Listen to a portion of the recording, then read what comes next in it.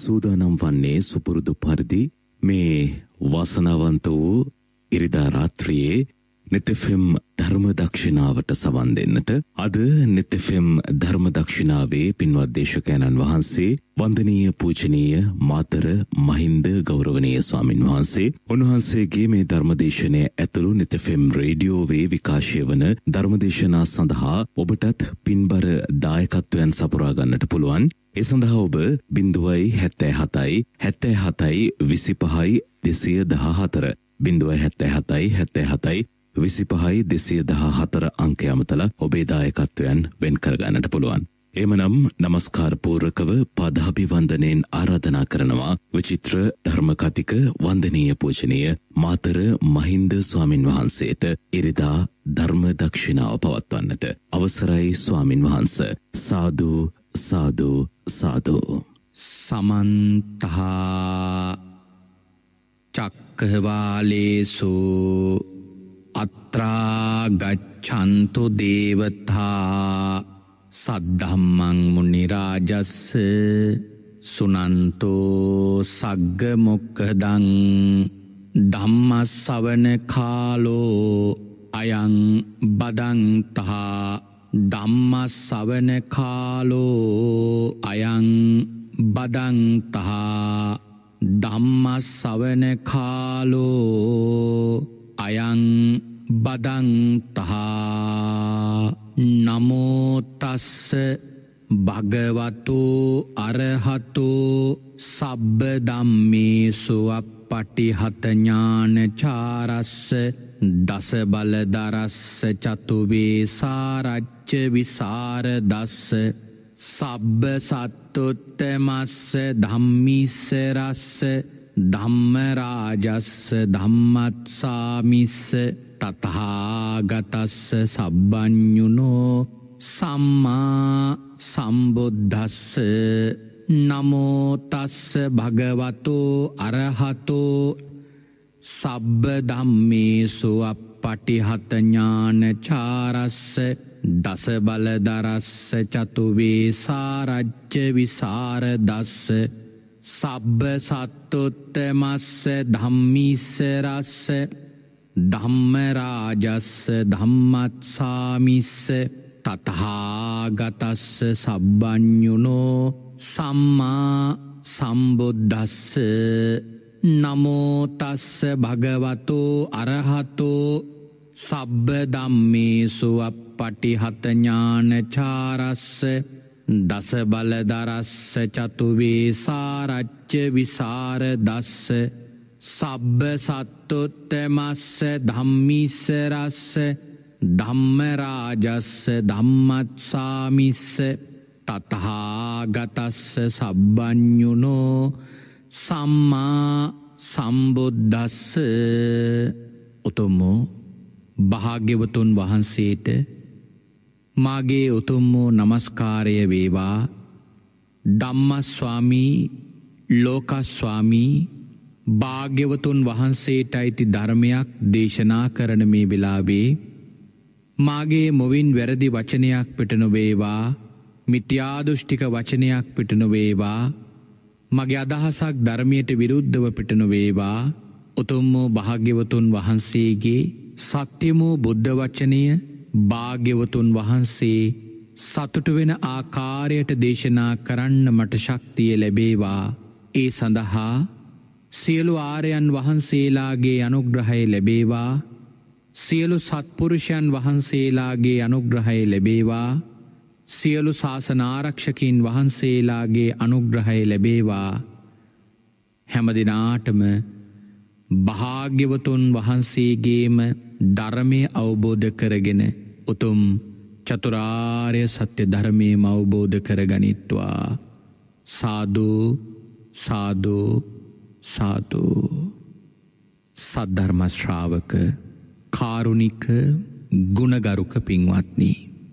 අද දවසේදීත් පින්වත් හැම දෙනාම මේ වෙලාවේ බලාපොරොත්තු වන්නේ භාග්‍යවත් අරහත් සම්මා සම්බුදුරජාණන් වහන්සේ විසින් ඔබෙත් මගෙත් නිවන පිණිස මහාකරුණාවෙන් දේශනා කොට වදාළ ස්වාසූ දහසක් ධර්මස්කන්ධයන් අතරින් ඉතාමත්ම වටින ධර්මකාරණාවක් ශ්‍රවණය කරන්නටයි. හද ධර්මදේශනාව සඳහා පිංුතුනි මම බොහොම වටිනා කියන මාතෘකාවක් දේශනාව වෙනුවෙන් තෝරගත්තා. පිංහතුනී අද මම තෝරගත්තේ බොහොම විශේෂ ජාතක කතාවක්. ජාතකයේ නම තමයි මහා කපි ජාතකය. මේ ජාතක කතාව තුළ අපේ පිංහතුන්ට කියල දෙන්න ඕන බොහොම වැදගත් පණිවිඩයක් තියෙනවා. එනිසාම තමයි මං අද දවසේ මේ ධර්ම දේශනාව අපේ පිංහොතුන්ට දේශනා කරන්න තෝරගත්තේ. කාරණාව පැහැදිලි කරන්න කලින් අපේ පිංහතුන්ට මුලින්ම කිවයුතු කරුණක් තියෙනවා.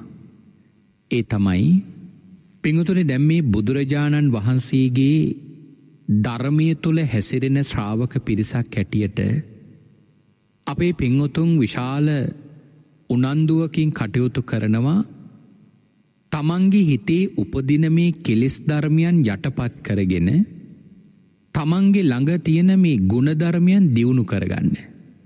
නමුත් ඒ කාරණාව අපි හිතන තරං ලේසි පාසු දෙයක් නෙවෙයි. සිල් රකින්න ගියාම ගුණධර්ම පුරුදු පුහුණු කරන්න ගියාම මේ සමාජයේ තුළ එක අපි හිතන තරම්ම ලේසිනේ. මොකද අපි ජීවත්වෙන සමාජය තුළ ඇතැම් අයගේ තියෙන සමහර දුරුවල හැසිරීම් අපේ හිතට එවගේ අපේ සංකල්පවලට හරියට බාධ කරනවා. එතුර එන්නේ බාධාවල් හමුවේ සමහර වෙලාවට අපේ අර ගුණින් අපි පිරිහෙනවා. සමහර වෙලාවට අපි අත්දකින දෙයක් තමයි බොම රැවටිලිකාර මිනිස්සු මුණ ගැහෙනවා. විපරීත අදහස්තිනය මුණ ගැහෙනවා. විවිධ විවිධ කෙලෙස් ධර්මයන් බලවත් කරගත්තු උදවිය සමහර වෙලාවට තමන්ගේ ලාභ ප්‍රයෝජනී පිණි සැසුරු කරනවා. නමුත් ඔවුන් ඇසුරු කරද්දී ඒ කෙලෙස් ඉස්මතු කරගෙන නෙවේ ඇසුරු කරන්නේ ඒව යට කරගෙන නමුත් ඔවුන්ගේ අදහස තියෙන්නේ ඒ ඇසුරු කරන කෙනාගෙන් තමන්ට අවශ්‍ය කරන ලාභ ප්‍රයෝජනය ලබන්න පමණයි. තිං ඒ විදියට ඇසුරු කරනවා. නමුත් කොයි වෙලාවකාරි දැනගත්තොතින් මේ කෙනාපිව රැවැට්ටුව නේද. මේ කෙනාපියෝ මුලාවට පත් කරා නේද කියලා එතොට ඒ කෙනාගේ හිතට ලොකු දුකක් දැනෙනවා. අනේ මේ මනු සැටමං අහෝනානේද කියලා. තවත් සමහර වෙලාවට තමන්ගෙන් උදව්පදව් ලබාගෙන සමහර කෙනෙක් ඒ උදව්පදව් ලබාගත්තු උදවියම අද අර උදව්කරපු කෙනාට නොඒකාකාරය හිංසා කරනවා. ඒ ගුණමකු අදහසේ. ඔවුන් අසරණ වෙලා ඉන්න වෙලාවට උදව් කරනවා. නමුත් අවසානෙදී ඒ ගුණයට කිසිම සැලකිල්ලක් දක්වන්නේ නැතුව ඔවුන් ඒ අයි වෙනුවෙන් නොඒකාකාරයේ සිත්තැවුල් ඇතිවෙන විදියේ එමනැත්තං හිතට බරක් වෙන ආකාරයේ දේවල් ඔවුන් කරනවා. එතුර අර උදව්කරපු මනුස්සයට හිතනවා අනේ මේ මම උදව්කරපු කෙනාම නේද මට මේ විදියට මේ මේ දේවල් කරන්න කියලා. එතුර ඒ කෙනාගේ හිතේ ඇතිවෙනවා මෙම සංකල්පයක් ඒ තමයි ආයනම්මම් මතක තියෙන තුරාවට මෙහෙම අයට උදව් කරන්නේ නෑ කියලා. එතකොට අර හොඳ කෙනෙකුට කරන්න තියෙන උදව්ව පවා තමන් නැති කරගන්නවා. එක මම කියන්නේ මේ ජීවත්වෙන සමාජය තුළ සමහර මිනිසුන්ගේ සමහර හැසිරීම් නිසා තමන්ගේ ගුණයට හරියට හානි කරගන්නවා. දැ තවත් විදක උදාහරණයක් කියනවන අපි හිතමු ඔන කෙනෙක් ඉන්නවා ඒ කෙනා තවත් කෙනෙක් කරන පින්කම්බලට දායක වෙනවා. උදාහරණයකට අපි හිතමුකෝ කොටියක් හදනකට දායක වෙනවා කියලා. දැ මේ කොටිය කටයුතු වෙනුවෙන් දායක වෙනවා. ඒ කුටියට යන මුදල සම්පූර්ණයෙන්ම එක කෙනෙක් ඒ හදන කෙනා වෙනුවෙන් පරිත්‍යාග කරනවා එයාගේ මුදලින් හදන්න කියලා. අපිතුම මේ මනුස්සයනි විදෙස් රටක කියල මේ උදව් කරපු කෙනා දැන් මෙරට ඉන්න කෙනා ඒ කටයුත්ත භාරගෙන කරනවා. හැබැයි මේ මනුස්සයා අර සම්පූර්ණ මිලමුදල ලැබුණත් තවත් අයගෙන් එකට අවශ්‍ය කරන මුදල් එකතු කරනවා. එතකොට අර සම්පූර්ණයම උදව්කරපු කෙනාට දකින්න ලැබෙනවා අහන්න ලැබෙනවා මොනයම් මොහෝ ක්‍රමයකින් මේ මනුස්සයා ඔයාගෙනුත් මුදල් අරගෙන මෙහෙත් කුටිය වෙනුවේ මුදල් එකතු කරනවා කියලා. එතොට අර මනුස්සයගේ හිතට මොකද දැනෙන්නේ. යාගේ හිතට එක ලොකු බරක් දැනෙනවා අනේ මේ මනුස්සට මම රැවටුනා නේද කියලා. එක කොහොම උනත් පින්වතුනි හිත හදාගන්න හරි අමාරුයිනේ. එතොට ඒකෙ තියෙන පාඩුව මොකක්ද පාඩුව තමයි ඊළඟට පුණ්‍ය කර්මයක් කරන්න ගියාම අර කලින් අත්දැකීම එයාට මතක් වෙනවා. එතොට එයා තීරණයකට එනවා ආයනම් මම් මේ වගේ පින්කම්වලින් පින්කම්වලට සම්මාදං වෙන්නේ නෑ දායක වෙන්නේ නෑ. මං පුළුවන් කාලෙක පුළුවන් කමත් තිබුණු පිනත් දහමක් කරගන්නවා හැබැයි මේ විදියට නම්ම සම්බන්ධ වෙන්නේ කියලා එයාගේ හිත තුළ ඔන්න සංකල්පයක් හදාගන්නවා. තොට ඒක පාඩුව කාටද තමන්ටමයි. මම මේ කරුණු කිහිපයක් මුලින් මතක් කළේ දැන් ඔය විදියට ගත්තම පින්වතුනි මේ මේ ජීවත්වෙන සමාජය තුළ අපට මේ නොයෙක් නොයෙක් දෙනාගේ දුරුවලකම් නිසා පිංහතුනි අපට පිනත් දහමක් කරගන්න ඉඩක් නැති වෙනවනි. ඇයි කොතනට ගියත් එක්කො වංචාව එක්කො හොරකම එක්කො බොරුව එක්කො රැවටීම ඉති ඔහොම ගත්තම පිංහතුනි සමහර වෙලාවට අපට පිනත් දහමක් කරගන්න තැනක් නැති වෙනවා. පිනත් දහමක් කරගන්න අවස්ථාවක් නැති වෙනවා. එතකොට පිංහතුනි අපිට ඔයි විදියට ගත්තම අපට මේ කාලය ගත වෙනව විතරයිනේ මේකෙන් ප්‍රයෝජනයක් ලබා ගන්න බැරි වෙනවනි.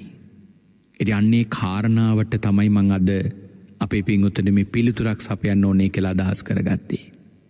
පිංගුතුනි මේ කාරණාවට හොඳම උපමාවක් මං අද මේ ජාතක කතාවෙන් දේශනා කරන්නේ.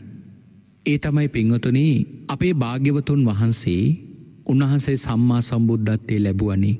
උන්වහන්සේ මේ සම්මා සම්බුද්ධත්වය ලැබුවේ සාරා සංඛ්‍ය කල්පලක්ෂයක්ම අද්දක බැඳගෙන ඉඳගෙන ඇවිල්ලනෙවෙනි. උන්වහන්සේ වෙනුවෙන් සාරා සංඛ්‍ය කල්පලක්ෂයක් පුරාවටම සමතිස් පාරමිතා පිරුවා.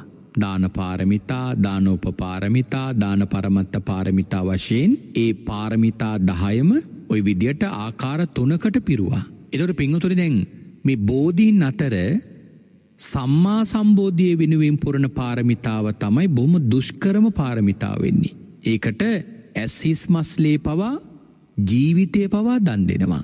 ඒ තරං දුෂ්කර කාරණාවක් මේ පාරමිතා පුරණ එක.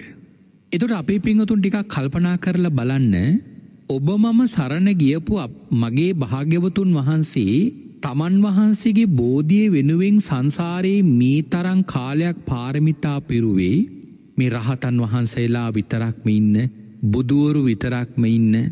එම නැත්තං ඉතාම හොඳ මිනිස්සු පමණක් මින ලෝකෙකද? නෑ උන්වහන්සේලා පාරමිතා පිරුවේ මේ ඔබ මම මේ ගමන් කරන මේ සංසාරීමයි.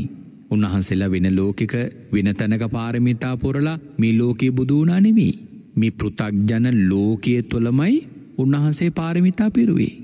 එතුර උන්වහන්සේ ඔය කියන පාරමිතා පුරද්දි උන්වහන්සේ ධර්මය පුරුදු පුහුණු කරද්දි උන්වහන්සේට ඔය කියන්නාවෝ බාධාවල්ලාවෙ නැද්ද. දැන් ඔය විදියට පිඟුතුනි එන බාධාවල් හමුවේ උන්වහන්සේත් හිතුවනං අදා පිහිතන විදියට මේ සමාජයේ පින් දහම් කරල වැඩක් නෑ මේ මිනිස්සුත් එක මේක කරන්න අමාරුයි කෙළ හිතුවනං උන්වහන්සට කොච්චර ලොක පාඩුවද වෙන්නේ. උන්වහන්සේ අතරමග නතර කරානං උන්වහන්සේ අද සම්මා සම්බෝධයට පත්වෙනි නෑනී. අන්නේ අපි හිතපු නැති කාරණාව. පිංහතුනි භාග්‍යවතුන් වහන්සේ මහබෝසතාණන් වහන්සේ නමක් හැටියට මේ මඩ ගොඩේමම තමයි ඔය කියන පාරමිතා ටික පිරුවේ. එතොට උන්වහන්සේ ඒ පාරමිතා පොරණකොට උන්වහන්සේටත් තමන්ගේ ඒ පාරමිතාවල්වලට බාධා ඇතිවෙන සමහර දුරුවල මිනිසු හිටියා. උන්වහන්සේ ගුණධර්ම වඩනකොට ඒ වඩන ගුණයන් වලට බාධා කරන බොහෝ දෙනෙක් උන්වහන්සේගේ ජීවිතයට මුණ ගැහුණා. උන්වහන්සේ තමන් යන ගමනේදී උන්වහන්සේ අධිෂ්ඨානයක් ඇති කරගත්තා ඒ තමයි මි කිසිම බාධාවක් උන්වහන්සේගේ ගමනට බාධාවක් කරගත්තිනේ. උන්වහන්සේ මේ කිසිම ප්‍රශ්නයක් උන්වහන්සගේ සංසාරයට ප්‍රශ්නයක් කරගත්තිනේ. එන බාධාවල් ඒ විදිටම තියෙන් නැරිය. එන ප්‍රශ්නය ඒ විදිටම තියෙන් නැරිය. බාධාවල් බාධාවක් කරගත්තෙත් නෑ ප්‍රශ්න ප්‍රශ්නයක් කරගත්තෙත් නෑ. ඒවා එහෙම්මම තියාගෙන උන්වහන්සේ උන්වහන්සේගේ අරමුණ වෙත උන්වහන්සේ ළඟා වුණා. නමුත් අපිට වැරදිච්ච තැන තමයි අපි යන්න ගමනෙද අපි අරමුණ අපිට අමතක වෙනවා. අපි ප්‍රශ්න ප්‍රශ්න හැටියට බාරගෙන බාධාවල් බාධාවල් හැටියට බාරගෙන ඒවා එක්ක ගැටි ගැටි ඒවා විසඳ විසඳ එක තැන නතරවීම පල්වෙවී ඉන්නවා. ඉති මහබෝසතාණන් වහන්සේත් ඔහොමම හිතුවනං උන්වහන්සේට බොදු බව ලබන ඉඩක් ලැබෙනිනේ. උන්වහන්සේ තමන්ගේ ජීවිතයේ හැම වෙලාවකම මේ ධර්මය තුළ හිත පිහිටුව ගන්න එක ධර්මය වඩන එක උන්හන්සේ කිසිම බාධාවක් හමුවේ නතර කළේනේ. ගුණියට හානි කරගත්තිනේ මේ ජාතක කතාවේ කොප්පු වෙනවා. මෙ මහා අපි ජාතකය භාගතුන් වහන්සේ දේශනා කරන්නේ දේවදත්ත හාමුදුරුවෝ භාගතුන් වහන්සට ගල් පෙරලුවනේ. ඒවෙලාවෙද බුදුරජාණන් වහන්සේ භික්‍ෂූන් වහන්සේලාට කියනව මහනිනී මේ දේවදත්ත තෙරුන් මාහට මෙහිම ගල් පෙරල්ලා හානි කළේ අද පමණක් නෙවෙයි කලිනුත් මේ විදිට කරලා තියෙනවා කියල තමයි මේ ජාතක කතාව දේශනා කරන්නේ. ඒ ජාතකයේ තියෙන්නේ එක්තරා කලෙක එක ගොවියෙක් ඉඳල තියෙනවා මේ ගොවිය සීසෑම් කටයුතු වෙනුවෙන් තමන් හදපු ගවයෝ පිරිසක් ඉඳල තියෙනවා. ඉතින් මේ ගවයෝ තැනින් තැන රැකරැක ඉන්නකොට එක ගවයෝ පිරිසක් ඒ ගවගාලෙන් වෙන් වෙලා කැලයක් ඇතුළට ගිහිල්ලා. එරි මේ කැලේ ඇතුළට ගවයෝ ටික ගියාම ගොවියට හොයාගන්න බැරි වෙලා ගොවියත් ඒ ගවයෝ හොයාගෙන කැලේ ඇතුළට ගියා. ඉතින් එහෙම යනකොට මේ ගොවිය කැලේ ඇතුළෙදි අතරමං වුණා. ඉතින් එහෙම අතරමං වෙලා සරණක් නැතුව දවස් හතක් නිරාහාරව කැලේ අතරමං වෙලා හිටියා. ජන පාරවල් දන්නේ නෑ යන්න කොහෙද කියල දන්නේ නෑ. ඉති මේ විදියට මේ ගොවියා දවස් හතක් මතරමං වෙලා ඉන්නකොට කෝමර මේ ගොවියා දකිනව දියුල් ගහ ඒ ගහට නැගලා ඒ ගෙඩි කඩාගෙන කන්න ගත්තා. හැබැ මේ ගහට නැගලා එක අත්තක ඉඳගෙන ගෙඩි කනකොට ඒ අත්ත කඩාගෙන බීමට වැටුණා. වැටුනි පොළොවට නෙවෙයි එතන තිබුණ ලොකු වලා ආංගේ වල ඇතුළට වැටුණා. ඒ වල ඇතුළේ දවස් දහයක් හිටියා ආහාර නැතුව. දැන් නිරාහාරව මේ වල ඇතුළ වෙල්ලා ඉන්න කාලේ අපේ බෝසතාණන් වහන්සේ ජීවිතය ඉපදිලා හිටියා වානර කොලියක. එරි උන්වහන්සේත් ගහින් ගහට යමින් ඒ ගස්වල තින පලවෙල කඩාගෙන අනුභව කරමින් ඉන්න කාලෙක උන්වහන්සේ තර දියුල් ගහට ඇවිල්ලා දියුල්ගෙඩි කඩාගෙන කනවා. ඔන්නොයි වෙලාවෙදි දකිනවා මනුෂ්‍යයෙක් මේ වලට ඇත් වැටිලා කෙදිරි ගගා ඉන්නව කියලා. තුනහසගේ හිතේ ඇතිවෙච්ච මේ අනුකම්පා සහගත සිතුවිල්ල නිසා උන්වහන්සේ වැලක් හොයාගෙන ඒ වැල ගලක ගැට ගහලා යනිත් කොන වල ඇතුළට දාලා කොහොමහරි උන්වහන්සේගේ උපකාරය ඇතුව අර වල ඇතුළි ඉන්න මනුස්්‍යය ගොඩට ගත්තා. දැන් බෝසතාණන් වහන්සේට හරී වෙහෙසයි. බොහෝ මහන්සියක් ගත්තා මෙ මනුස්්‍යය ගොඩට ගන්න. තෙතරම තිබුණ ගල්තලාවක් බොසතන් වහන්සේ මේ ගල්තලාවේ ටිකක් හිසතියාගත්තා. ති බොසතන් වහන්සේ කියනවා මෙ ගොවියට මිත්‍රය මට්ටිකක් හරි මහන්සී එනිසා මාවත් රැකගෙන මෙතනට වෙලා ඉන්න මං චුට්ටක් නිදාගන්නවා කිව්වා. ඉතින් ඔයි විදියට උන්වහන්සේ නිදාගන්න අතරේ මේ මනුස්සයගේ හිතට මහා පෞකාර සිතුවිල්ලකාවා. මේ මනුස්සයදෙන් දවස් ගානක් නිරාහාරවින්නේ. නිරාහාරවින්න මේ මනුස්සයට තැන් කොසගිනි වේදනාව වැඩී. එනිසා පෞකාර සිතුවිල්ලක්කාවා මේ වානරයෝ කියල කියන්නේ මිනිසුන්ගේ ආහාරයක්ම තමයි. එනිසා මට මේ කැලෙ කන්න දෙයක් නෑ ලැබෙච්ච මේ අවස්ථාවේ ප්‍රයෝජනයක් අරගෙන මොහුව නසල කනව කෙළෙ හිතාගෙන ගලක් අරගෙන මේ වඳුරගේ හිසට ගැහුවා වඳුර මරන්න මරාගෙන කන්න. නමුත් මේ මනුස්්‍යයාර දවස් ගානක් නිරාහාරව හිටපු නිසා මේ මනුස්්‍යගේ කය දුරුවලයි. එනිසා ගල බොහෝසිං ඔසවල ගහන්න තරම් ශක්තියක් ලැබුණි නේ සාමාන්‍ය ප්‍රමාණය උසකින් තමයි ගල අතෑරයේ ඉතින් ඒ නිසා වඳුරගේ හිසට ලොකු හානියක් වුණේනේ නමුත් ලේගල්න මට්ටමට හිස පැලුණ විතරයි. තිග එහෙමම අවදිවෙච්ච වඳුරා එහෙම්මම නැග්ග එතන තිබෙච්ච ගහට. දැන් ලේ ගලනවා කඳුළු සලනවා අඩාඩා ඉන්නවා. ඉති ඔන්නොයි වෙලාවෙදී බෝසතාණන් වහන්සේගේ හිතට මොනතරන් සිතුවිලි ඇතිවෙන්න ඕනද. දැ බලන්න ගුණමකු අදහසින් තමන් උදව්කරපු කෙනාම අනි පැත්තට තමන්ට මේ විදියට ජීවිතහානියක් කරන්න උත්සාහ කරගත්ත කියන කාරණාව. හිතල බලන්නක එක මොන තරන් දුරුවල අදහසද්ද කියලා. මෙ සැබෑම ගුණමකුවෙක් මේ මනුසයා. දැ බලන්න බෝසතාණන් වහන්සේ කොච්චර අනුකම්පාවෙන්ද ඕගේ ජීවිතය රැකගන්න උදව් කළේ. නමුත් එහෙම උදව් කරලත් මේ මනුස්සයගේ හිතේ කිසිම මෛත්‍රයක් කරුණාවක් ඉපදුනේ නෑනි බෝසතන් වහන්සේ කෙරේ. අනි මේ මනුසයා මේ සතා මගේ ජීවිතය රැකල දුන්න කියලා.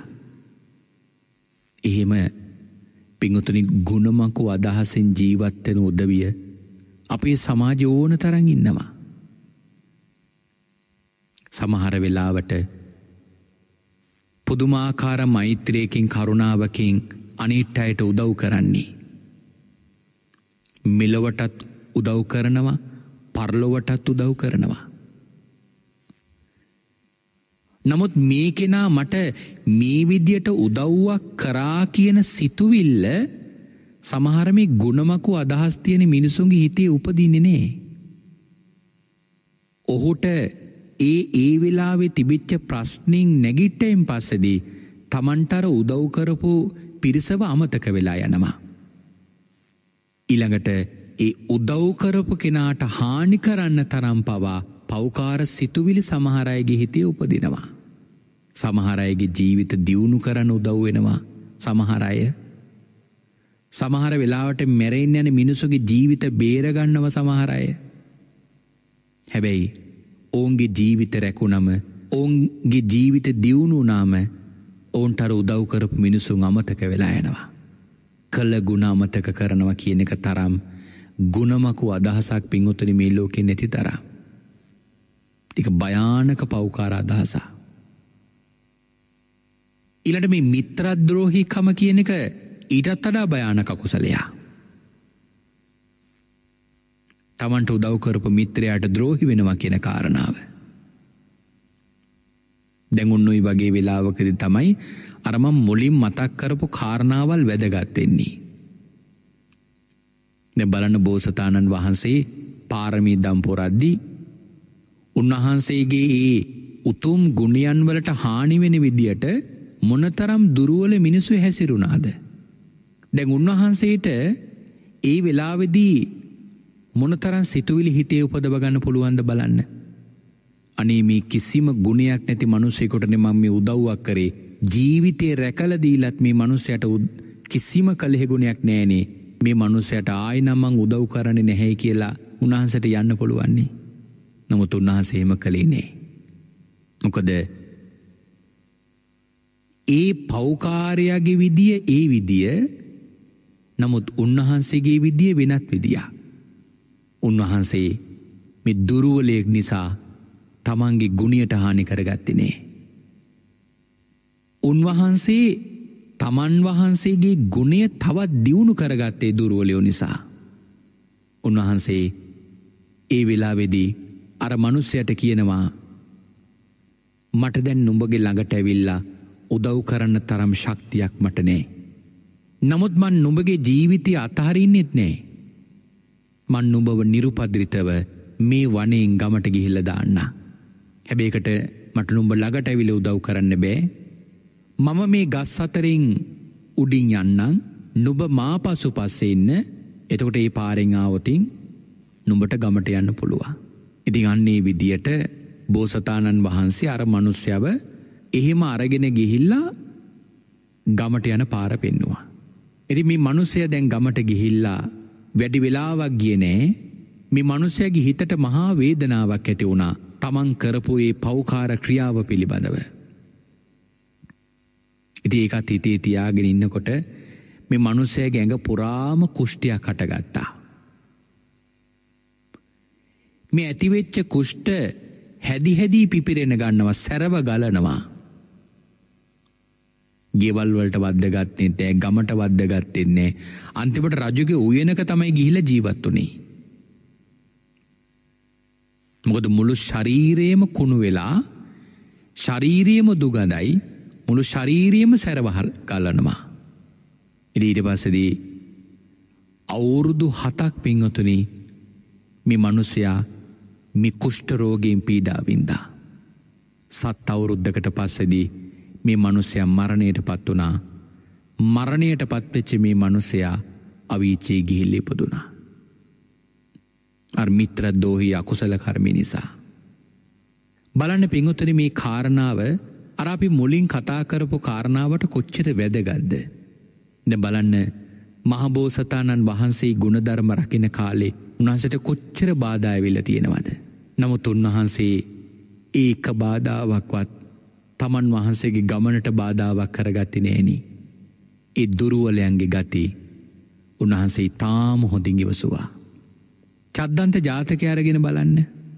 චද්දන්ත ජාතකයේදී අපි බෝසතාණන් වහන්සේව මරවන්න රජුගේ අග්‍ර මහිෂිකාව වැද්දෙක් එවනවා. ඒ අග්‍ර මහිෂිකාව කලින් ජීවිතයේ බෝසතාණන් වහන්සගේ භාරයාව. නමුත් බෝසතාණන් වහන්සේත් එක වෛරයක් ඇති කරගත්තනේ තමන්ගේ අන්‍ය භාරයාවට විශේෂ සැලකිල්ලක් දක්කොන තමන්ට වඩා කියලා. ඉතින් ඒ නිසා බෝසතාණන් වහන්සේ මරවන්න රජුගේ අග්‍රමහිෂිකා වෙලා ඉපදිච්ච මේ කලින් ජීවිතයේ බෝසතන් වහන්සේගේ භාරයාව අර කලින් ජීවිතයේ මි සිදුවීම මතක් වෙලා වැද්දෙක් යවනවා දළ දෙක කපන් එන්න කියලා. ඉරිං වැද්දා ඒ දේවිය කියපෝ පාරවල් ඔස්සෙ ගිහිල්ලා බෝසතාණන් වහන්සේ ඉන්න තැන හොයා ගත්තා. හැබැයි බෝසතන් වහන්සේගේ ළඟට ලංවෙන පුළුවන් හයියක් නෑමොකද ඒ තරං විශාල ඇත් පිරිසක් උන්වහන්සේ ආරක්ෂාවට වටකරගෙන ඉන්නේ. නමුත් උන්වහන්සේ මේ වැද්දව දකිනවා.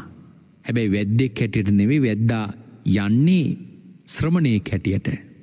ඉතින් ශ්‍රමණයන්ට කරදරයක් කරන්න හොඳ නැති නිසා බෝසතාණන් වහන්සේ තමන්ගේ හිටපු අර පිරිවර සේනාව එතනින් ඉවත් කෙරෙව්වා. උපාශෙල්ලි විවත් කෙරෙව්වා. ඉති එතකොට තමයි දනි දැනගත්තේ මේ චීවරයක් දරාගෙන ඇවිල්ල තියෙන්නේ මේ පෞකාර වැද්දෙක් නේද කියලා. වැද්දේ වෙනකොට විස ඊතලයක් බෝසතන් වහන්සට විදලිවරයි. එතුර ඒ වෙලාවෙ දහනවා මිත්‍රය කිනම් ප්‍රයෝජනයක් නිසා කාග්ගේ ඕමනාවටද මේ ඊතලි විද්දි කියලා. එතුර ඒ වෙලාවෙදි කියනවා කාසි රජුගේ දේවියට ඔබගේ ඇද්දල දෙක අවශ්‍ය වෙලා තියෙනවා. ඒක ගන්නේ මං ආවෙකිව්වා. ඉතින් බෝසතන් වහස දැනගන්නවා ඒ ඇය වෙන කවුරුවත් නෙවේ කල් මේ ජීවිතය මගේ භාරයාව. ඉති බෝසතාණන් වහන්සේ ඒ වෙලාවෙදී අර වැද්දට දළ දෙක දෙනවා. වැද්ද කියතෙන් දළ දෙක කපනකොට පිඟුතුනි බෝසතාණන් වහන්සේත් ඒ වැද්දට දළ දෙක කපන්න උදව් වුණා. සවනක් රැසින් බබලන තමන් වහන්සේගේ උතුම් දළ දෙක වැද්දට පරිත්‍යාග කළා. වෙදට කියනවා දේවියට කියන්න මම ඇයට බොහෝම කැමැත්තෙන් මේ දළ දෙක පරිත්‍යාග කරා කියලා. බලනකුන් වහන්සේගේ හිතේ සිතුවිලි මාත්‍රයකින්වත් තරහසිතක් උන්වහන්සේ උපදව ගත්ති නෑනි. උන්වහන්සේ තමන්ගේ ගුණයට හානි කරගත්ති නෑනි ඉවසවා. ඉරිං දේවියට වැද්දගෙන් ඒ කතා වහලා හිතට දරාගන්න බැරි දුකක් ඇති වුණා අනි මේ තරම් උතුම් වූ ගුණයන් තියෙන උත්තම කෙනෙකුට නේද මං මේ වගේ හානියක් කරේ කියලා දේවයට දරාගන්න බැරුව හදවත පැලිල මරණයට පත් වනා.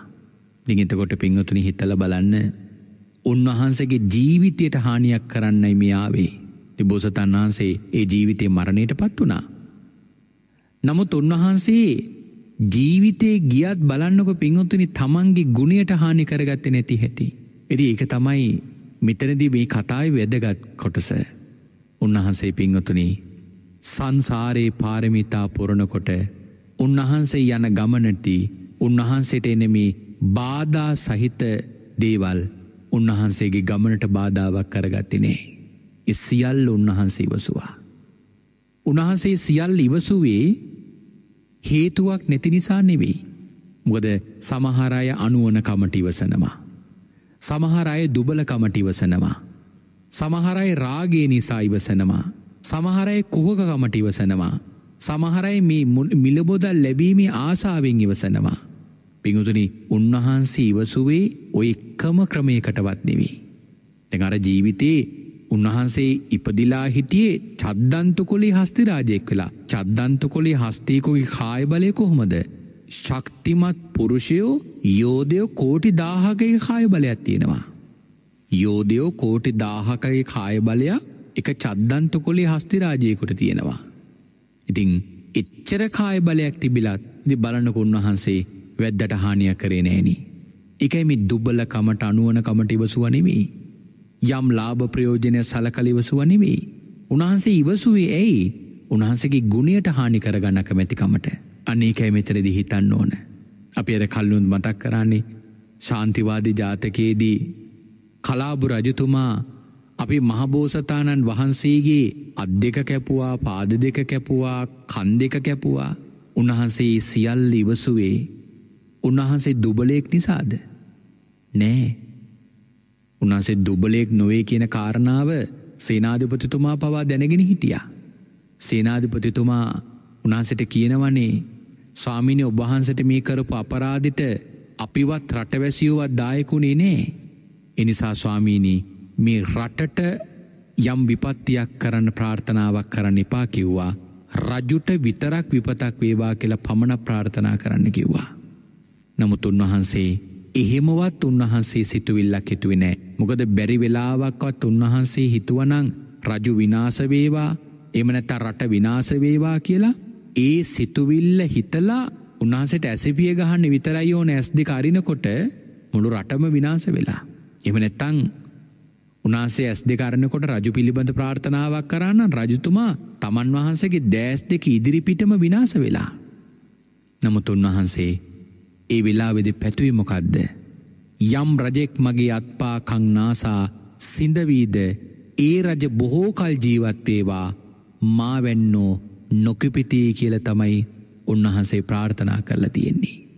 ඉතිං කලාබු රජතුමා හරිනං බෝසතාණන් වහන්සට අන්තිම වතාවේ පපුුවට පයින් පහරක් කෙල්ල කරනවා ඒ ගහපු පාදය පොළොවට තියනකොට පොළොව දෙබෑල් අවීචිත ඇදගෙන යනවා.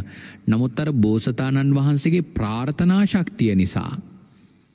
රජුට කිසිම කරදරැක් වෙන්න එපා බොහෝකල් ජීවත් වේවා කියලා කරපුයේ ප්‍රාර්ථනාව නිසා පෙංගොතුනි රජතුමාට බෝසතාණන් වහන්සේගේ දෙනෙත් දෙක නොපෙනෙන දුරට යනකං යාගන පුළුවන් වුණා නිර්පද්‍රිතව.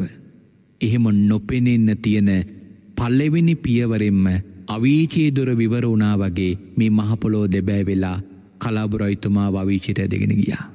තට බලන්න පින්ගොතුනී උන්වහන්සේ ඉවසුවේ නිවට කමන්පගටවත් අනුවන කමටවත් එවනැතන් දුබල කමටවත් නෙවෙයි ලාභ ප්‍රයෝජනය සල කළ නෙවෙයි. උන්වහන්සේ ඉවසුවේ උන්වහන්සේගේ ගුණයට හානියක් කරගන්න හොඳ නැති නිසා. අන්න ඒ තරං ශක්තියක් වීරියක් අපේ ජීවිත තුළත් පින්ඔතුනි හදාගන්න පුළුවන්නම් මංහිතනවා අපේ බොහෝ කෙලෙස්වලින් අපට ඉවත්වෙන පුළුවන් කියලා. මොකද අපි කෙලෙස්වලින් ගොඩාක් දැවෙන්නේම මිනිම ඉවසීම නැතිකම නිසාමයි. ඉවසීම නැති තැන අපට වෙන්නේ ලොකු විනාසයා. ඉවසීම ගැන කියද්දි කියන්නේ පිඟතුනී මෙ ක්‍රෝදක්ගිනිය නිවන ජලයවක් ඉවසීම. යහපත් ක්‍රීර්තිය ඇතිවෙන තැන තම ඉවසීම. පාපී පුද්ගලයන්ගේ වචන නැමති විස නසන ඖෂදය තම ඉවසීම. මේ මිලේච්ච වචන ඉවසන ඖෂදය තම ඉවසීම. සංවරකම පිහිටියා වූ උසස් ගතිය තම ඉවසීම කියන්නේ. දේශයේ නැමති මහාසාගරයේ වෙරල තම ඉවසීම. මහාසාගරය දේශයේ හැටියට ගත්තොතින් ඒ මහාසාගරය නැමති දේශයේ ඉවසීම තමයි වෙරල. එකයන්නේ සාගරය කොච්චර විශාල වුණත් වෙරලෙන් එහාට සාගරයේ ගලාගෙන යන්නේ නේ. ආංගේ වගේ තමයි ඉවස් මේ නපුරු අදහස් කියන එක දේශය කියන එක කොච්චර ප්‍රබල වුණාත් ඉවසීම තියෙනවනං ඒ දේශය පාලනය කරගන්න පුළුවා. එකයි කියන්නේ ඉවසීම කියන හරියට වෙරල වගේ. අපායේ දොර වසන පියන තමයි ඉවසීම කියන්නේ. දිවි ලෝකෙට බ්‍රහ්ම ලෝකෙට අරනගෙන ඉනි මග තමයි ඉවසීම කියන්නේ. සියලු ගුණයන් වාසය කරන භූමිය තමයි ඉවසීම කියන්නේ. ඉවසීම කියන්නේ ආංගේ වගේ දෙයක්. මෙනම ඉවසීම කියන එක පින්ඔතුනි අපේ ජීවිතේ පුරුදු පුහුණු කරගත්තොත්. අපේ හිතට බරක් වෙන අපේ ජීවිතයට බරක් වෙන බොහෝ අකුසල කරමවලින් පින්ඔතුනි අපට නිදහස් වෙන්න පුළුවන්. මොකද ඉවසීම නැති තැන තමයි අපේ හිතේ බොහෝ කෙලෙස් ධර්මයන් උපදින්නේ. ඉවසීම නැතිකම නිසා. ඉති එනිසා මෙන්න මේ ගුණය අපේ පිංහතුන් තමන්ගේ ජීවිතය තුළ දියුණු කරගන්න එතකොට අපේ පිංහතුන්ටත් පුළුවන් අපිටත් පුළුවන් අපේ ජීවිත තුළ බොහෝ ගුණ ධර්ම පුරුදු පුහුණු කරගන්න.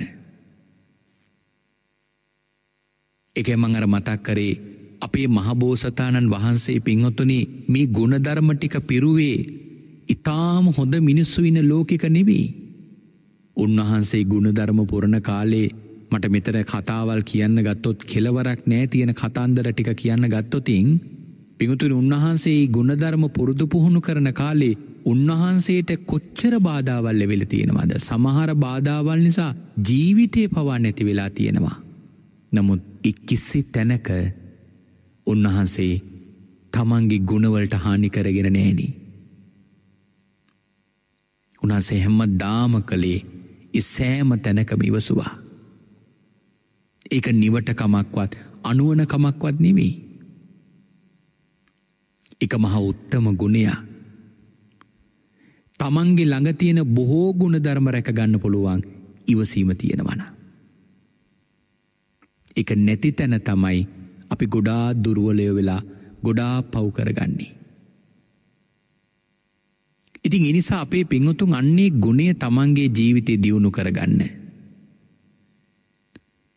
දුරුවල අදහස් හිතට එනකොට ඒ අදහස් අපේ ජීවිතය තුළ පෝෂණය කරග නිදක් ලැබෙනෙනේ අපිට. දැන් නුවන තියෙනයි හිතන්නෙම හිමනි.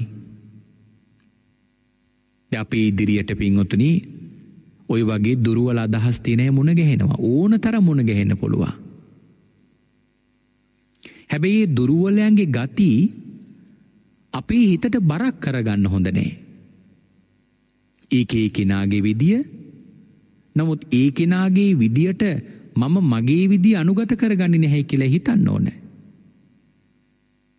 මොකද ඔවුන්ගේ දුරුවලකම් අපි හිතට ගන්න ගියෝතින් ඔවුන් වගේම දුරුවලය පිරිසක් බවට අපිත් පත්වෙනවා.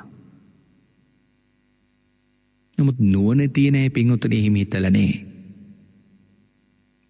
නුවන තියෙන අය හැම වෙලාවකම තමන්ගේ හිත රැක ගන්න උත්සාහ කළේ. අර පුන්න සිටතුමාගේ උත්තරා කියන දියණිය බලන්න. පුන්න සිටතුමාගේ එකම දියණයේ හිටිය උත්තරා මේ උත්තරා විවාහ වුණේ සුමන සිටතුමාගේ පුතත් එක්ක. සුමන සිටතුමා කියල කියන්නේ තීර්ථකයෝ සරණගියපු ශ්‍රාවකේ. දැන් උත්තරා මේ ගෙදර විවාහ වෙලා ගියාට උත්තරාට දන් දෙන්න නෑ බණක් අහන්න නෑ කොටිම්ම කියනවනම් කසාවතක් දකින්නවත් ලැබුණිනේ. තෙරුවන් සරණ ගිහිල් හිටපු උත්තරාට මේක හිතට මහා වේදනාවක් වුණා. ති දවසත් තාත්තට ලියවමක් එවනවා පියාණනී මාව දාසකුලයකට විවාහ කරලා දුන්න නං මං මීට වඩා සතුටින් ඉන්නවා කියලා. ඉතින් ඒ වෙලා වෙදී පොන්න සිටතුමා දැනගත්තා තමන්ගේ දුවට දැන් පිනත් දහමක් කරගන ඉඩක් නෑ ඇත්තට මේ ගෙදර.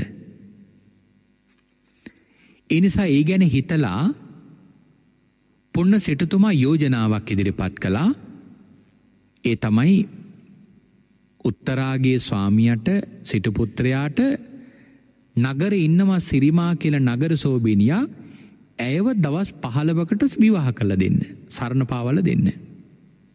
එතොට සිටතුමාගේ දවස් පහළවකට භාරයාව තමයි සිරිමා ඒකට සිරිමට දවසකට කහවනු දාහගානි මුදල් ගෙවනවා.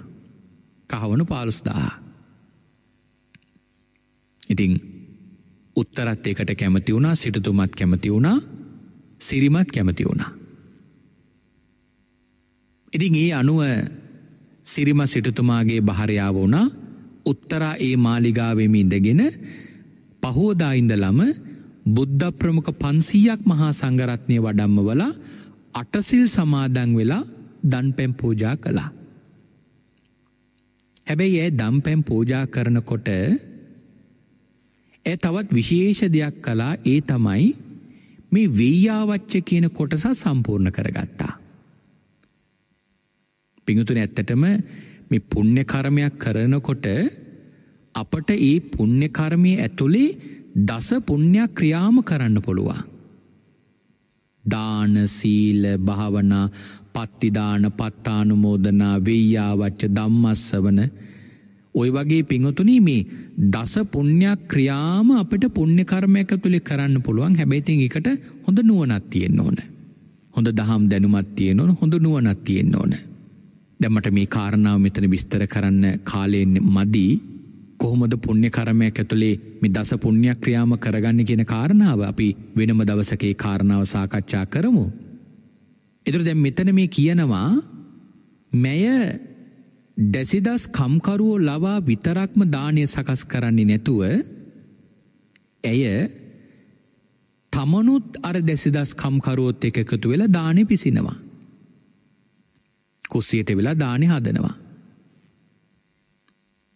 ඉතින් දැන් කුස්සියකට වෙලා වැඩ කරනකොට පින්වතුනී බොහෝම පිරිසුදු කයකින් ඉන්න බෑනි දහඩිය දමනවා දැලිකුණු ගෑවෙනවා ඉති මේ විදිට එක්ක දිගටම වැඩකරපු මෑගේ ශරීරය දැන් අපිරිසිදුයි. ති දවසස් සිටතුමා උඩුමහල් තාලේ ඉඳල පහලත් බලනකොට දකිනොම මේ උත්තරා දැලිකුණු පෙරාගෙන උයනවා. ඉතිං ඒක දැකපු සිටතුමාට හිතෙනවා අනේ මේ මෝඩ ගෑනි මෙච්චර සැපවිඳන තියෙන මාලිගාවේ දැලිකුණු පෙරාගෙන ශ්‍රමණ බවත් ශ්‍රමණ බ්‍රාහ්මණයන්ට දන් පැන්දෙන හැටි කියලා සිටතුමාගේ හිතේ සිතුවිල්ලක් ඇති වුණා. ඉතින් ඒ සිතුවිල් ඇතිකරගතු සිටතුමා එහෙම හිතලා උත්තරාදිහා බලල හිනාවුණ. උත්තරත් ඔහොම ඉන්නකොට උඩ බලදි සිටතුමාව දැකලා උත්තරාවගේ හිතෙත් සිතුවිල්ලක් ඇති වුණා අනේමී මෝඩ සිටුවරයා මේ තරං කෝටි ගණන් ධනීතියාගෙන මෙච්චර උතුම් රතනයක් පහළ වෙලා ඉන්න යොගියක මනුස ජීවිතයක් ලැබිලත් සංසාරට ගෙනියන්න ඕන මගවියදමක්වත් හදාගෙන යන්න ඉන්න නැතිව හැටි. කියලම උත්තරාට හිතිලා උත්තරාටත් සිටතුමා දැක්කම හිනා ගියා. දැන් දෙන්නට දෙන්නා සිතුවිලිවලින් හිතල තමයි හිනා වෙන්නේ හැබැයි දෙන්නට දෙන්න දන්නේන අදහස් දෙක. නමුත් දෙන්න හිනාවෙනවා විතරක් පේනවා ඕක දැක්ක උඩුමහල් තලේ හිටපු සිරිමා. සිරිම එක දැකල කල්පනා කරනවා මෑ මගේ ස්වාමියත් එක හිනාවෙන්නේ ඇයි. එකන සිරිමට දවස් පහලවක් යනකොට අමතක වෙලා තියෙනවා මේ සිටතුමාගේ මම තාවකාලික බිරිඳක් කියලා. තිං තමන්ගේ ස්වාමියත් එක හිනාවෙන නිසා සිරිමට කේන්ති ගියා. සිරිමට කේන්ති කියල සිරිම මොකද කළේ පහළ මහලයට බැහැලා කුස්සියට ගිහිල්ලා ලිපේ තියෙන්න නටන තෙල් තාච්චයෙන් තෙල් හැන්දක් අරගෙන උත්තරාට ගහන්න ගියා. දෙ උත්තරා දැනගත්තා සිරිම එන විදියට එන්නේ තමන්ට නපුරක් කරන්න. දැන් උත්තරාට මොන්න තරං සිතුවිලි හිතේ උපදව ගන්න පුළුවන්ද බලන්න. උත්තරාට පුළුවන්නේ දැන් හිතන්න මෑ මේ මගේ සල්ලිවලින් ඉන්නේ. මේ මගේ ස්වාමියත් එක්ක ඉන්නේ මේ මගේ නිවස ඉන්නේ එහෙම කියල හිතල්ල දැන් උත්තරාට පුළුවන් සිරිමට ඔයිට වඩා නපුරක් කරන්න. නමුත් පින්ගොතන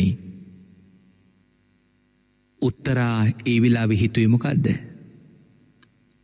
උත්තරා දැම්මේ තමන්ගේ හිතට බාධාවක් ඇතිකරවන්නේ එන මි කෙලෙස් සිතුවිලි උත්තරා හිතන්න ගත්තනේ. උත්තරයි වෙලාවේ සිරිමදිහා බලල හිතන්නෙමකක්ද. මේ මට කරපු උපකාරය මේ කරන්නෙන නපුරට වඩා විශාලයි. මේ අද මට මේ විදියට නපුරා කරාට මේ මට කරපු උපකාරී ඊට වඩා උතුම්. මේ කැමති වෙච්ච නිසා තමයි මේ දවස් පහළවේ මම මේ තරම් විශාල පුුණ්‍ය කර්මයක් රැස් කරගත්තේ. මේ ඒකට කැමති නොවන නං කවදාවත් මට මේ වගේ පින්කමක් කරගන්න ඉඩක් ලැබෙනිනේ. මේ කරපු උපකාරය කොච්චර විශාලද කියලමෑ හිතින් හිතනවා උත්තරා හිතනවා සිරිම මටකරපු උදව්ව අතිං අල්ලල තියන්න පුළුවන් දෙයක් නං මෙ සක්කොල්ල ගැබේ ඉඩ මදි කෙනවේ උදව්ව තියන්න. ඒ තරං විශාල උදව්වක් මේ මට කළේ. එවන් උදව්වක් කරපු මෑ කෙරෙහි මගේ හිතේ කිසිදු ආකාරය තරහක් නූපදීවා මෛත්‍රී සිතක්ම පහළවේවා කියලා ඇ හිතන්න ගත්තා. ඉතිං ඇයි සිතුවිල්ල නිසාම සිරම ඇවිල්ලා අර උනු තෙල්ටික හිසට දැම්මට ඇට කිසිම නරකක් වුණේ නෑ හරියට සිසිල්දියක් දැම්ම වගේ මුළු ශරීරියම තෙල්වලින් සිසිල්ලලා ගියා. ඉතිං ඒ වෙලාවෙදී දැසිදස් කම්කරුව මේක දැකලා සිරිමට හොඳටෝම ගැහුවා. අපේ ආර්යාවට නොබැයි මේ වගේ නපුරක් කරේ කියලා. ඉතිං ඒ වෙලාවෙත් උත්තරාම තමයි ඇවිල සිරිමා බේරගෙන තමන්ගේ කාමරට අරගෙන ගිහිල්ලා තෙල් බෙහෙත් ගාල සාත්තු කෙරේ. යන්න බලන්න පිංහතුන මේ අපි යන ගමන කොච්චර සාර්ථකද කියල මේ කතාවල් එක දිහා බලල හිතන්න. අපි ආර්ය ප්‍රතිපදාවක් ඔස්සෙන යන්නේ ඒ උත්තමය ගමන්කරපු පාරෙද්දම යන්න කියලා අපි චුට්ටක් හිතල බලන්න ඕන. දෙ අපිට ඔය වගේ සිදුවීම්වලදී අපි කොහොම දිවසන්නේ. අපට ඉවසීම තියෙනවද අන්නේව පරීක්ෂා කරල බලන්න අපේ පින්වතෝ. ඉතිං එහෙම හිතුවෝත් මං හිතනවා අපේ පින්වතුන්ගේ ජීවිත දිහා බලලා තමන්ගෙ තියෙන මේ දුරුවල අඩුපාඩු කන්ටික තමන්ට හදාගන්න පුළුවන්කමක් ලැබේ කියලා. එනිසා මේ කතාව හිතට අරගෙන හිතට බරක් වෙන තමන්ගේ සංසාරයට බාධා කරවන මෙ කෙලෙස් ධර්මයන් එක ගැටෙන්නේ නැතුව ඒ කෙලෙස් හිත තුළ උපදින සෑම වාරයක් ගානෙම අපේ පිඟුතුන් ඉවසන්න පුරුදු වෙන්න. මොකද මේක තමයි සංසාරී හැටි. එක මං අපේ පිංහතුන්ට තවත් මේ කාරණාවට ශක්තියක් වෙන්න තමයි අර මහා කපි ජාතකයේ දේශනා කරේ බලන්න අපේ මහබෝසතාණන් වහන්සේ දුරුවලයුන්ගේ දුරුවලකම් හමුවේ කොහොමද තමන්ගේ ගුණේ රැකගත්ත කෙන කාරණා පෙන්නුවේ. ති උන්වහන්සේත් උන්වහන්සේගේ පාරමිතා ටික පිරුවේ මි දුරුවල්ල ලෝකෙකම තමයි. කෙලෙස් තියෙන මේ පෘතක්ජන ලෝකෙම තමයි උන්වහන්සේ ගුණධර්ම ටික පිරුවේ. ඉතින් එනිසාපේ පිංහතුන් අන්නේ පනිවිඩේ හිතට නගාගෙන හිතට බරක් වෙන කෙලෙස් තමන්ගේ හිත තුළ උපදිනකොටම මෙන මේ භාග්‍යවතුන් වහන්සේගේ ගුණය හිතට නංවාගෙන අපේ පිංහතුන් ඒ කෙලෙසේ නසන්න මගේ භාග්‍යවතුන් වහන්සේ නසන්නාපු උදවිය එක්ක පවා තරහක් ඇති කරගත්තනේ නපුරක් ඇති කරගත්තනේ ක්‍රෝධ වෛරසිතක් ඇති කරගත්තනේ ඔවුන්ට තව තවත් උපකාර කරා මිසක් එමනං මගේ භාග්‍යවතුන් වහන්සේහෙම ඉවසුවනං ඒ ගුණේ ගැන හිතට අරගෙන මමත් මේ වෙලාව ඉවසනවා කියනදේ හිත තුළ අධිෂ්ඨානයක් හැට ඇති කරගන්න. ආන්නේ මධිෂ්ඨාන කරගෙන හිතේ උපන්නා වූ කෙලෙස් ධර්මයන් ප්‍රහාණය කරන්නටත් නූපන්නා වූ අකුසල්ල කරමයන් ප්‍රහාණය කරන වීරය වඩන්න අපේ පිංහුතුන් හැම්ම දෙනාටම මේ උතුම් සද්ධර්මදානය උපකාරවේවා කෙන ප්‍රාර්ථනාවෙන් අපි දේශනාව නිමාවට පත් කරනවා. හොඳ හෙමනං අද දවසේදී මේ උතුම් වූ සද්ධර්ම දේශනාව පවත්වලා අපි රැස්කරගතු සියලුමපින් හැම දෙනාටම අපි අනුමෝදන් කරනවා. විශේෂයෙන්ම නෙත් නාලිකාවේ සභාපතිතුමන්ටත් සාමාන්‍ය අධිකාරතුමන්ටත් කාර්ය මණ්ඩලේ පිංහොතුන් හැම දෙනාටමත් අපි මේ වෙලාවේ පුුණ්‍යානුමෝදනා කරනවා. තිගේ හැම දෙනාටම නිදුක් නිරෝගී සෝපත් භාවය කායික මානසික සෝපත් භාවේ ලැබේවා මෙවන් උතුම් ධර්මයක් ලෝකෙට දානය කරන්නට තමන්ගේ ආයතනේ ගුවන් කාලේ වෙන් කරලා ඒ රැස් කරගන්න සීලුමපින් එයත්තන්ට අඩුනැතු අනුමෝදං වේවා ඔවුන්ගේ සිලු යහපත් බලාපොරොතු ප්‍රාර්ථනා සියල්ල මුදුන් පත් කරගන්නට මේ පින උපකාරවේවා කියලා අපි පුුණ්‍යානුමෝදනා කරනවා. එවගේම මේත් එක්කම තවත් විශේෂ පුුණ්‍යානුමෝදනාවක් කරනවා ඒ තමයි දැනට අසනීප තත්ත්වයෙන් පසුවන එවගේම ප්‍රතිකරම ලබමින් සෝපත් භාවට පත්පෙමින් සිටින නෙත් නාලිකාවේ ඉරිදා උදෑසන ධර්ම දේශනාවේ දේශකයාණන් වහන්සේ වන අතිපූජනී අවසරයි අපගේ පින්වත් කැටවල හේමාලෝක නායක මාහිමිපාණන් වහන්සේට අපි මේ වෙලාවේ ආශිර්වාදය කරමු. උන්වහන්සේට ඉක්මං නිරෝගිසුවේ ලැබේවා කායික මානසික සෝපත් භාවේ ලැබේවා අපි හැම දෙනාම රැස් කරගත්තු සියලු පුුණ්‍ය ධර්මයන්ගේ බලයෙන් උන්වහන්සේට නිදුක් නිරෝගී දිගාසිරි සම්පත් ලැබිලා තවත් බොහෝ කාලයක් උන්වහන්සේගේ ඒ ධර්මඥානයෙන් ලෝකයාගේ සිස්සතන් සූපත් කරමින් ධර්මදේශනා කරන්නට උන්වහන්සේට ශක්තිය දහිරිය සැලසේවා කියලා අපි හැම දෙනාම සාධකාරදීල්ලා ආශිර්වාදය කරමු. එවගේම තවත් විශේෂයම පුුණ්‍යානමෝදනා කරනවා එළබෙන පහළොස්වන දින ජන්මදිනය සමරණ නෙත්නාලිකාවේ ආගමිකංශයේ ප්‍රධානින් වශයෙන් කටයුතු කරන අපගේ පින්වත් වරුණ ඉදිරිසිංහ මහත්මාටත් තියතුමාගේ ජන්මදිනී යෙදෙනවා පහළොස්වනි දින. අපි මේ අවස්ථාවක් කරගන්නවා එතුමාටත් ආශිරුවාදය කරන්න. ශාසනික ජීවිතය අපටත් එවගේම විශේෂයම බොහෝ දෙනෙකුට අනුකම්පාවෙන් තමන්ගේ ඒ කාලය ශ්‍රමය වැය කරමින් සුවිශාල කාර්යභාරයක් ඉටු කරන එතුමාට අපි මේ වෙලාවේ ආශිර්වාදය කරමු. එතුමාට නිදුක් නිරෝගී සුවපත් භාවය කායික මානසික සුවපත් භාවේ ලැබේවා එතුමා ජීවිතය කරගෙන ලබන සියලු කටයුතු සර ප්‍රකාරම සාර්ථකමත් කරගන්නට මේ සියලු පුුණ්‍ය ධර්මිය හේතු වාසනාවේවා කියලා අපි මේ වෙලාවේ ආශිරුවාදය කරනවා. තිලගා කරගත්තු සියලු පුුණ්‍ය ධර්මියෝ ඔබා පැහැම දෙනාට මඩු නැතු අනුමෝදං වේවා මා මේ ලෝකට බිහිකරපු මියගියමාගේ මෑණියන්ටත් මියගියමාගේ පියාණන්ටත් මා පැවිදිකරපු මාගේ ගුරුදේවොත්තමයන් වහන්සේටත් මගින් පිම්බලාපොරොත්තුන හැම දෙනාටමත් මෙ සියලු පින් අනුමෝදන් වේවා. ඒ හැම දෙනාම සතු සිත් ඇතිකරගෙන මේ පින් අනුමෝදන් කරගනිත්වා. සම්බුද්ධ ශාසනයේ ශාසනක ගමන් මගකට මට අතිහිත දුන්න හැම දෙනාටමත් උදව්පකාර කරපු හැම දෙනාටමත් සිව්පසයෙන් ඇප උපස්ථාන කරන දායකකාරකාදී හැම දෙනාටමත් නිදුක් නිරෝගී සුවපත් භාවේ ලැබේවා. ඔබා පැහැම දෙනාටමත් මේ සියලු පුුණ්‍ය ධර්මියෝ අඩුනැතු අනුමෝදං වේවා.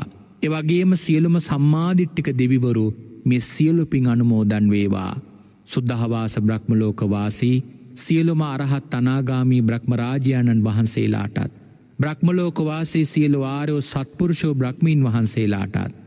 සදිවිලෝකවාසේ සියලු ආරයෝ සත්පුරුෂෝ දිවිරාජුත්මයණන් වහන්සේලාටත්. වලාහකකායක දිවිරාජුත්තමයණන් වහන්සේලාටත්. භාග්‍යවතුන් වහන්සගේ සම්බුද්ධ ශාසනය ආරක්ෂා කරන උප්පලවන්න දිවිරාජුත්තමයන් වහන්සේ ප්‍රධාන භාග්‍යවතුන් වහන්සේගේ ධාතුන් වහන්සේලා අප්‍රමාදී වාරක්ෂා කරන සියලෝම සම්මාධිට්ටික දෙවියන්ටත් මෙ සිල්ලු පින් අනුමෝදන් වේවා උන්වහන්සේලාත් සතුටු සිත් ඇති කරගෙන මේ පින් අනුමෝදන් කර ගනිත්වා කියලා අපි සාදෝ කියා පින් අනුමෝදන් කරමු. අවසානයේදී ඔබ අප හැම දෙනාටම කෙටිම කාලයකින් පහසුම ආකාරයෙන් සුකසහගත ප්‍රතිපදාවෙන් උතුම් චතුරාර්ය සත්‍ය ධර්මය අවබෝධ කරගන්නට මේ උදාර කුසලානිසංස ධර්මය පාරමී ධර්මයක්ම වේවායි සාධූ සාධූ සාධූ කියා ප්‍රාර්ථනා කරගමු. ආකාසට්ටහා චුබුම්මට්ටහා දේවානාගා මහිද්දිකා පුඤ්ඥන්තං අනුමෝදිත්වා චිරන්රක්කන්තු සම්මා සම්බුද්ධ ශාසනං චිරන්රක්කන්තු සම්මා සම්බුද්ධ දේශනං චිරන්රක්කන්තු සම්මා